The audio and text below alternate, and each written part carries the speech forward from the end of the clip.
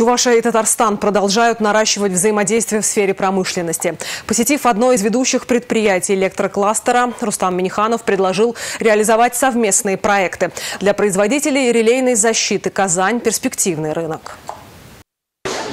Вот такие шкафы защищают энергообъекты от сбоев. География поставок. Вся страна среди заказчиков крупнейшие корпорации. Интерес Рустама Миниханова к этому предприятию вполне объясним. Продукция «Экры» работает на авиационном заводе Казани и КАМАЗе.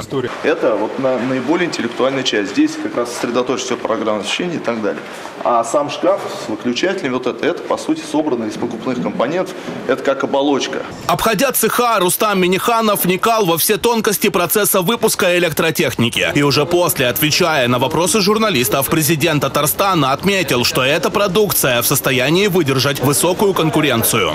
Вот этот пример, как надо организовать производство. Наши предприятия, они базируются, берут за базу вот э, ваше оборудование. Предприятие очень перспективное. По итогам прошлого года товарооборот между республиками достиг отметки в 10 миллиардов рублей и может быть увеличен. Ключевыми поставщиками выступают предприятия электрокластера. Его возможности презентовали президенту. 35 компаний, это и вузы входят, и техникум входит, и ведущие предприятия. Крупный бизнес, вот как мы здесь присутствуем. И с малой средней у нас тоже очень большие компетенции. Вуз выпускает. Него номенклатура больше 100 тысяч наименований изделий, потому что часть из них вы видели.